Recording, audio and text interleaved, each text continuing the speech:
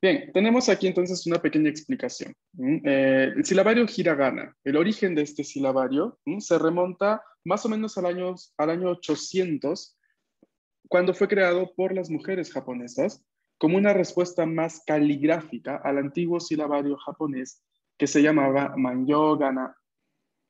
Este Manyo-gana, a su vez, desarrolló, creó lo que se llama Hentai-gana, y de la escritura cursiva de este silabario Hentai-gana se terminó finalmente creando lo que conocemos actualmente como hiragana.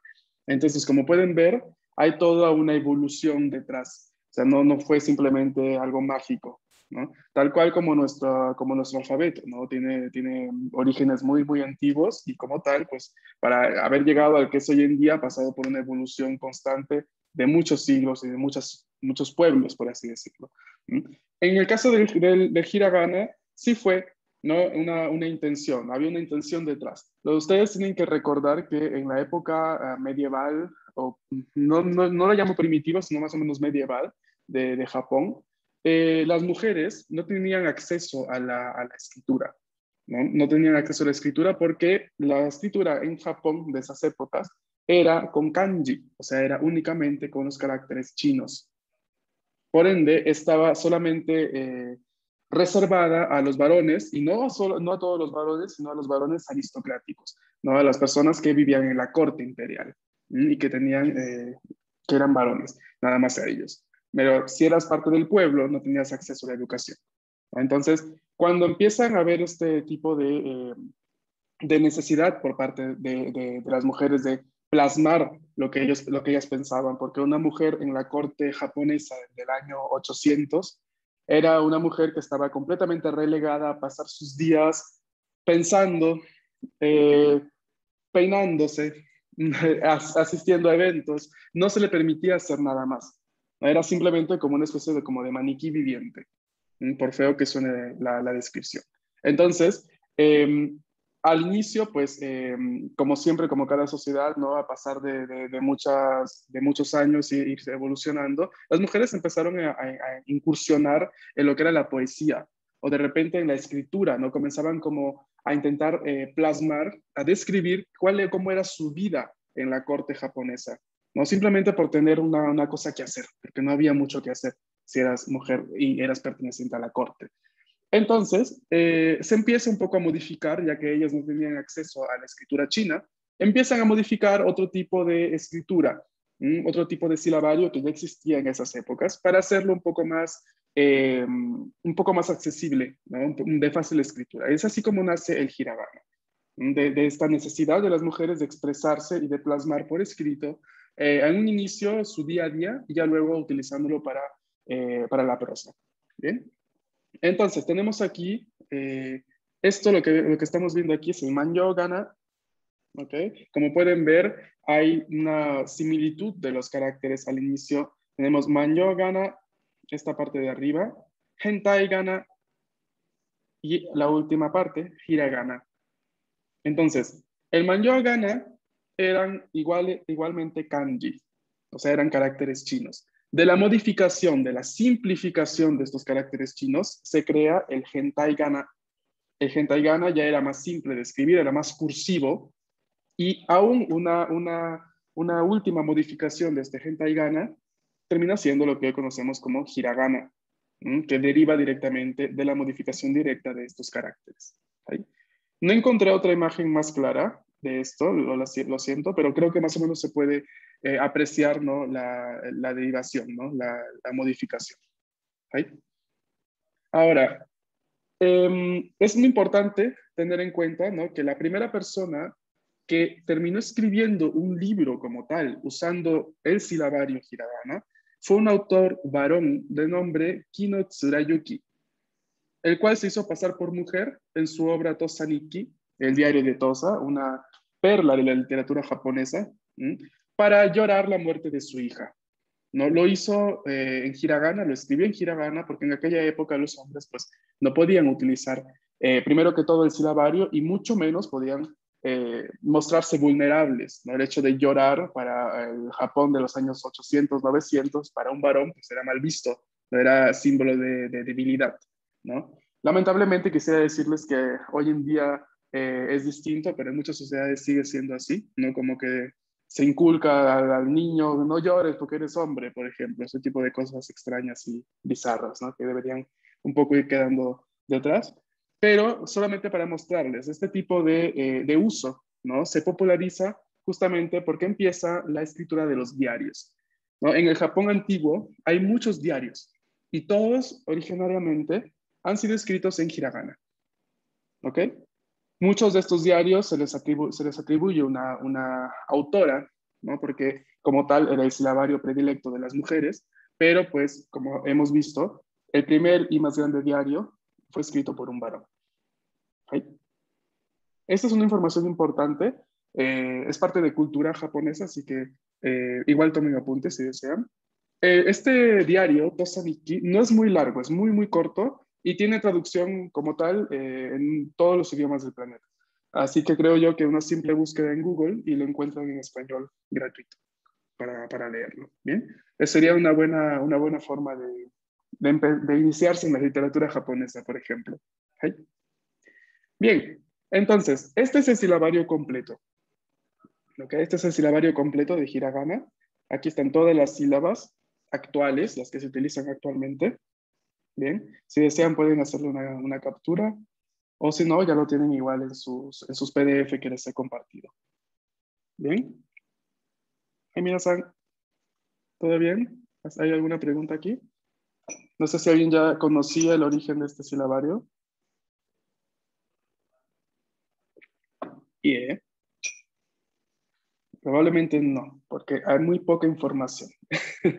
en, los videos en YouTube o en, las páginas de Internet casi nadie habla del origen. Todos te enseñan a escribirlo, pero eh, creo yo que igual de importante es saber ¿no? por qué existe, ¿no? que no fue una locura nada más, sino que fue una necesidad de expresión por parte del público femenino, digamos, ¿no? la, la población femenina de Japón de esas épocas. ¿bien? Vamos a retomar entonces las diapositivas de escritura. Aquí estamos. Bien, vamos entonces a continuar. Vamos a continuar. Ayer habíamos visto las vocales como tal. Hoy vamos a ver las, eh, vamos a empezar con las sílabas. La primera columna de sílabas es la columna de la consonante K. ¿Ok? La columna de la consonante K. Y quiere decir que esta, toda esta columna se compone de las sílabas K, Ki, Ku, Ke y Ko. ¿Vale? En ese orden. Vamos a empezar con esta primera sílaba. Aquí presten mucha atención, por favor. El primer trazo que vamos a escribir de esta sílaba es este. El rojo que aparece aquí en el, recuadro explicativo. Entonces iniciamos. Y un pequeño hane al final. ¿Vale? chido. Una vez más. Uno.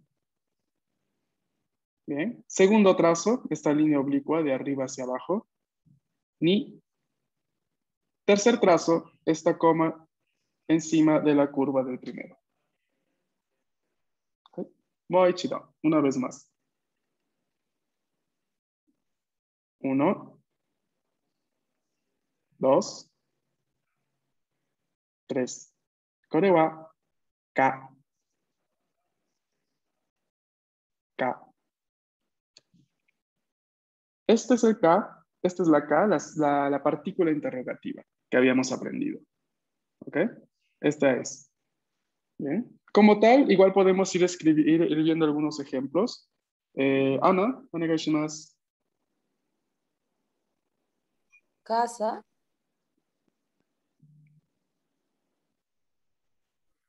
Este, ¿Lo escribo o lo.? No, no, no, solo, solo leerlos, por favor. Ah, casa. Uh Kamome. Kamome. Uh Kabutomushi. Kabutomushi. Hai, arigato.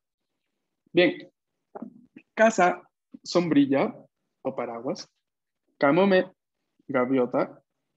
Kabutomushi, escarabajo. ¿Hay fan de Pokémon aquí? ¿Hay alguno que ha visto Pokémon? Primera generación. A ver. Ahí seguramente recordarán el Pokémon Kabutops. ¿Ok? ¿Y a qué se parece? Justamente ¿no? una especie de evolución extraña de un escarabajo. Y es justamente por eso, ¿no? Porque la palabra Kabutomushi es escarabajo. ¿Vale? Muchos, muchos Pokémon tienen nombre eh, derivado de la palabra japonesa. No, no, todos, no todos, porque en algunos países los nombres de los Pokémon han sido traducidos. No, no, sé, si no sé si saben que, eh, por ejemplo, en francés, los idiomas, de los, idiomas, los nombres de los Pokémon son completamente distintos a los, a los que conocemos nosotros o a los que se conocen en Japón. Eh, bueno, en Japón tienen un nombre específico, eh, pero por lo general, ¿no? algunos, algunos Pokémon tienen un, su nombre derivado de la palabra del animal en japonés algunos, no todos. Sobre todo los de la primera generación, ¿no? Porque ya ahora creo que han hecho Pokémon hasta de, vi otro día de algunas velas, ¿no? Entonces, no sé, no sé, ya se inventan de varias cosas, pero la primera generación capaz es bastante fiel a los nombres japoneses. Como siempre, escriban unas cuatro o cinco veces la sílaba y avísenme cuando hayan terminado. ¿Cómo es que me tienen que avisar cuando hayan terminado de escribir? ¿Qué palabra te ven decir? 終わりました。はい、終わりました。そうです。Se los voy a escribir aquí en el chat. Esto significa terminé.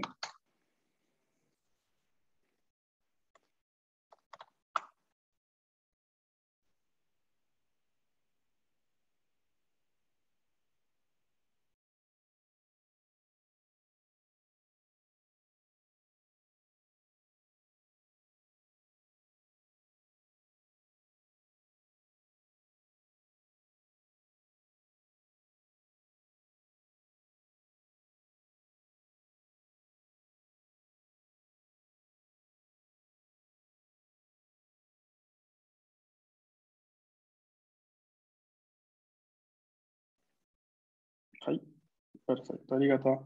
Vamos entonces a continuar con la siguiente sílaba. La siguiente sílaba es la sílaba ki. Y aquí empezamos y abrimos una, una, gran paréntesis, porque empezamos a ver la diferencia de escritura digital y escritura a mano de algunas sílabas. Eh, es muy común de que la escritura digital de la sílaba ki sea como aparece aquí en pantalla, con el trazo unido. Tenemos uno, uno solo. O sea, eh, uno, primer trazo, la primera línea, segunda línea, y el tercer y cuarto trazo está en uno solo. ¿Okay? Mientras que si vamos a ver la explicación de escritura a mano, tenemos cuatro trazos. O sea, el trazo 3 y trazo 4 son separados. Y esto es una gran, gran diferencia y es una, ah, una característica importante a tener en cuenta. Se los digo porque eh, para el gobierno japonés, el Ministerio de, Educación, cuando les enseña o les da, digamos, las pautas a los profesores japoneses eh, del kinder, por ejemplo, ¿no? que les enseñan a, los niños a escribir y le, llegan a la parte de silabarios, aconsejan fervientemente enseñar esta, ¿no? Porque como tal es la única aceptada a la forma escrita, ¿no? Si em, al inicio a los niños, niños, o sea, por ejemplo, cuando tienen y están en sus primeras, eh, primeras veces escribiendo, se les admite eh, el, el, tercer y cuarto trazo junto de esta sílaba. ¿Ok? Pero como tal, ya por ejemplo, en escrituras oficiales, ya cuando están haciendo exámenes o demás, es considerado un error juntar el tercer trazo y el cuarto trazo en esta sílaba. Entonces habría que prestarle mucha atención aquí. ¿Ok? Al inicio es normal que eh, les parezca más fácil unir los trazos en esta sílaba, pero recuerden que la forma eh, correcta y la forma que, por ejemplo, si están planeando hacer algún examen eh, de certificación en unos meses, en N5, y capaz se presentan a la sede y hacen su examen y todas las sílabas que la escriban así, tengan por seguro que les van a marcar como error. Porque para la certificación, la única forma de escritura correcta de la sílaba es esta. ¿Ok? Con trazo 3 y trazo 4 separados. Este fenómeno no solamente se aplica a la sílaba aquí, también vamos a ver que se encuentra en, otra, en otras sílabas, como la sílaba sa, por ejemplo. ¿no? Ya vamos a irlos encontrando poco a poco. Vamos a ver cómo se escribe. Primer trazo, una línea recta. Segundo trazo, otra línea recta paralela, pero más abajo del primero. Tercer trazo, atraviesa los dos primeros y tiene un pequeño hani al final. Y el cuarto trazo es una línea que empieza curva y termina recta. Wa ki. Esa es la sílaba ki. Moichido, vamos a escribirlo una vez más. Uno, ah, perdón, muy inclinada. Uno, dos, tres, cuatro. Kore aquí.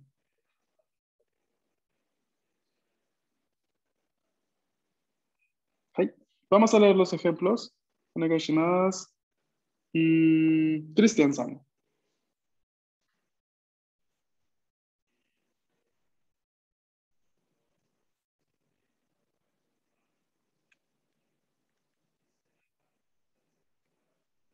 Sang.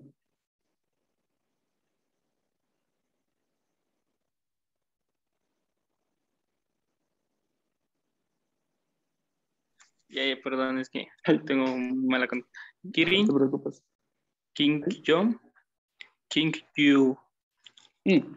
Kirin, kore, jirafa desu King Yo, carpa dorada. Kikyu, globo aerostático.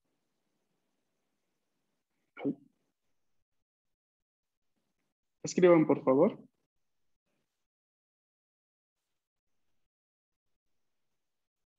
Konokingyo, no este animal. Konokingyo, carpa dorada. Eh, inspiró también otro Pokémon, ya que estamos. A ver, no sé si se los puedo encontrar, sino que no me acuerdo los nombres. Mm, mm, mm,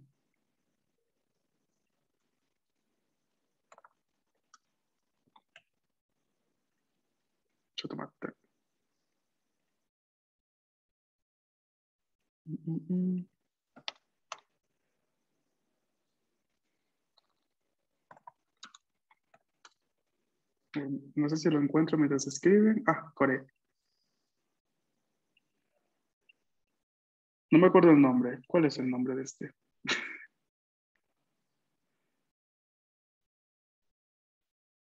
¿Alguno recuerda?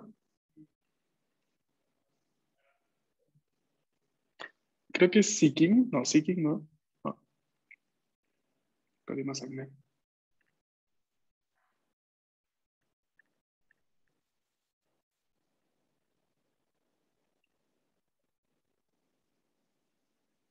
Os dejo aquí en la diapositiva para que igual a ver.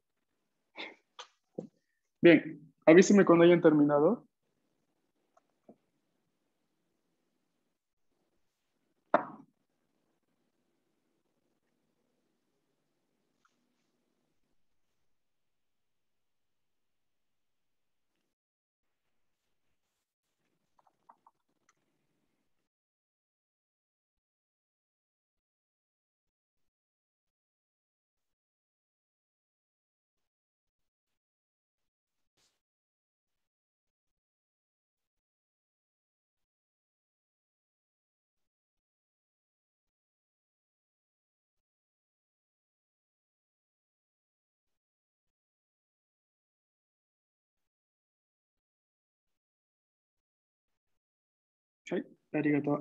Bien, vamos a ver entonces la siguiente sílaba.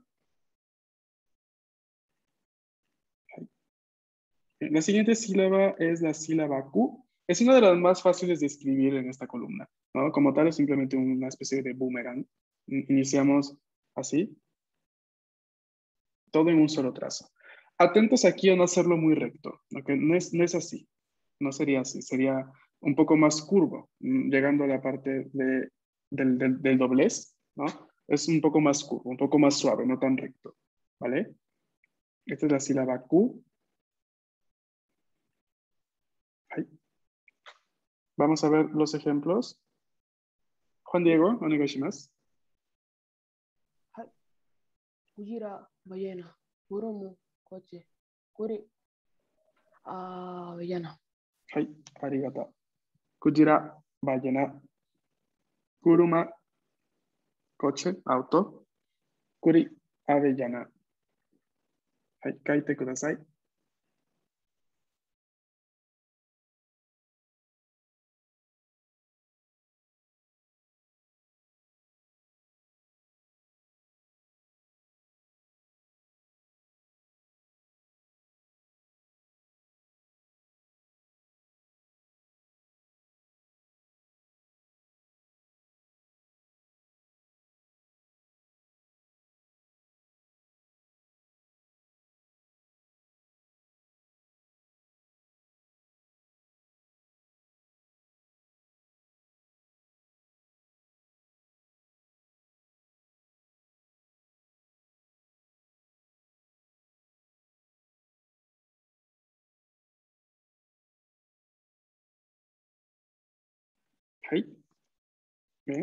Vamos a ver la siguiente.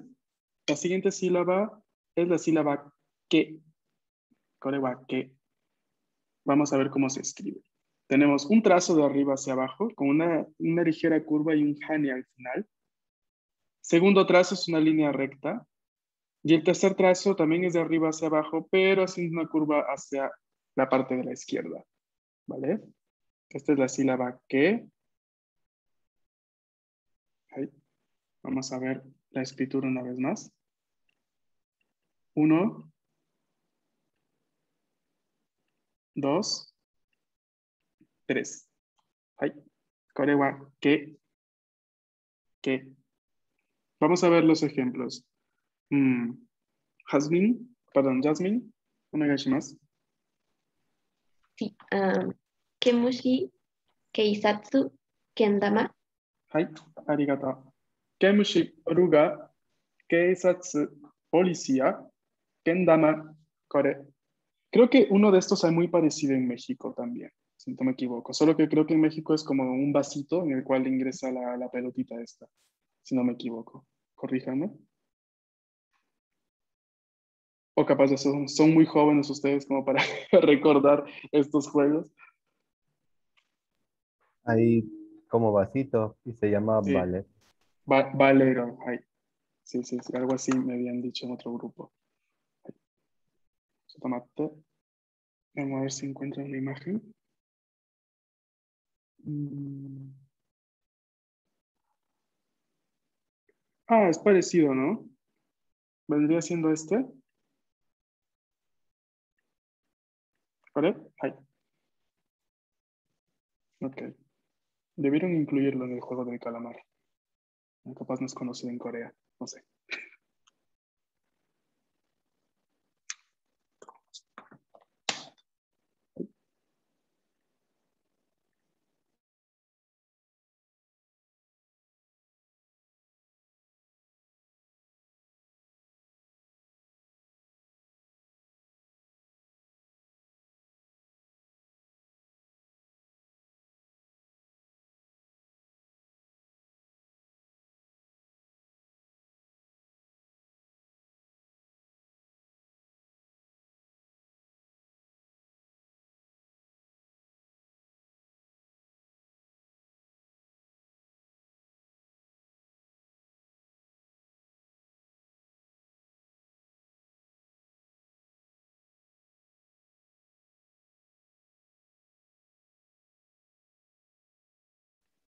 Vamos a ver la siguiente y última sílaba.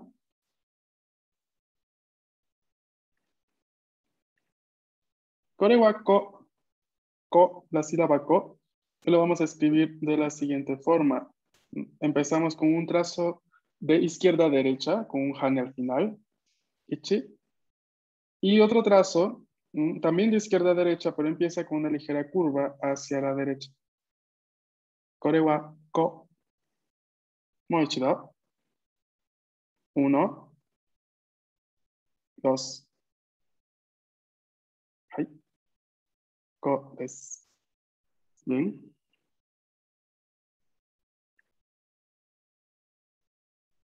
Vamos a ver los ejemplos. Jocelyn San, Benegashinas. Coma. Uh -huh. Gori. Hay. Y Fukuhara. Hai arigatou so mm. Tenemos entonces coma, core, trompo, peonza, kori, hielo, kori, koala, koala.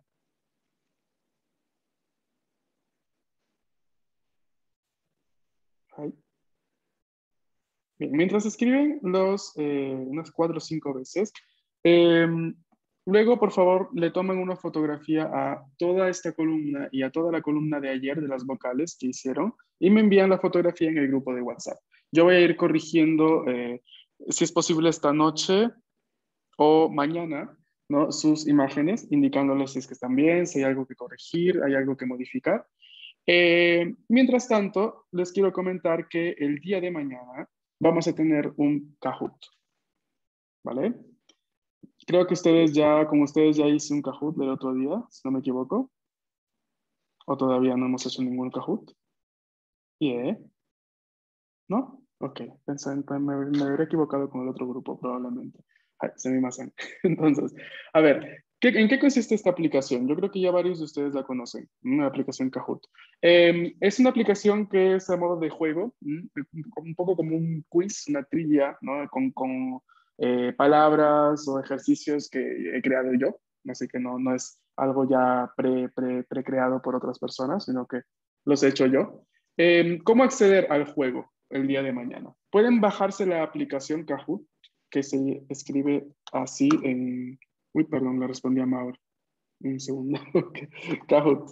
Quedaría así. Búsquenla así en su tienda de aplicaciones. Creo que está disponible para todos los teléfonos, no me equivoco. Bien. Em, si en cambio se conectan desde computadora, si están desde computadora, no descarguen nada, simplemente eh, mañana accedan a la página kahoot.it y allí yo luego les voy a dar un pin. Ese pin va a ser el que ustedes van a ingresar tanto en, en su navegador, si están desde computadora, o en su aplicación. Y van a poder acceder al juego de mañana. ¿Vale? Así que por favor, durante, eh, durante todo lo que queda de la noche y mañana, recuerden que eh, tenemos un Kahoot y hay que descargar la aplicación si es que se, se conectan desde, desde teléfono o desde iPad, por ejemplo. Si es que están en eh, en computadora no descarguen nada, ¿no? Solamente les bastaría abrir el navegador y ya está. Ya les, ya les digo qué hacer. ¿Bien? ¿Alguna pregunta respecto a esto? Igual les voy a enviar, eh, les voy a enviar una, una especie de, de, tutorial para quien se le complica un poco la parte de la descarga de la aplicación o que, cómo funciona, para que más o menos sepan qué es. Solo un pequeño detalle. Eh, varios estudiantes me han comentado de que cuando juegan y están, por ejemplo, en, Zoom desde el teléfono y ya luego eh, van a la aplicación, eh, dentro de la aplicación yo voy a transmitirles, por ejemplo, algunas imágenes que no les puedo decir qué son, sino ya les estaré dando la respuesta, por ejemplo.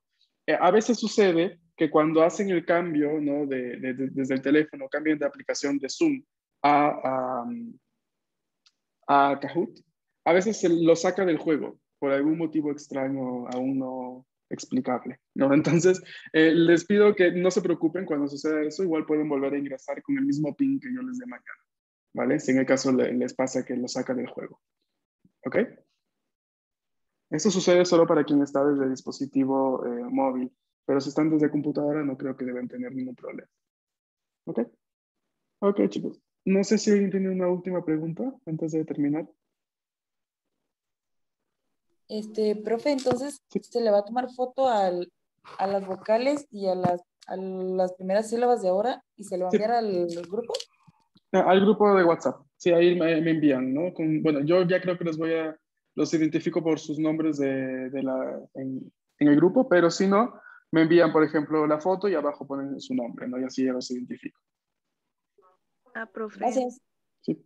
Ay, perdón, perdón. Sí, sí, escucha. ¿No he terminado ya? Sí, sí, creo que ya era la pregunta. Ay, Ay perdón. No, no, no te preocupes, eh, está bien, adelante. Aquí en mi ciudad hay, ¿cómo se dice? Alerta de huracán. Entonces cancelaron clases mañana. Y ah, no sé si tendremos internet o luz mañana. Entonces, sí. Mm. Pues sí, pensé que iba a, decir, pero ya recordé que usted pues no es de aquí. No, no, a ver, ahora ya estoy en, Ciudad de México, pero, o sea, eh, Eh, yo me rijo a lo que me dice el instituto, ¿no? El instituto pues no, no ha marcado como, no nos, ha, no nos ha dado ningún aviso, por lo cual la clase de mañana igual está eh, programada normalmente. Pero en el caso que tengas problema para acceder por falta de internet o electricidad o, o algún- alguna complicación, eh, ya luego te puedo enviar el enlace del Kahoot y la puedes hacer tú en otro momento, no habría ningún problema. Ah, está bien.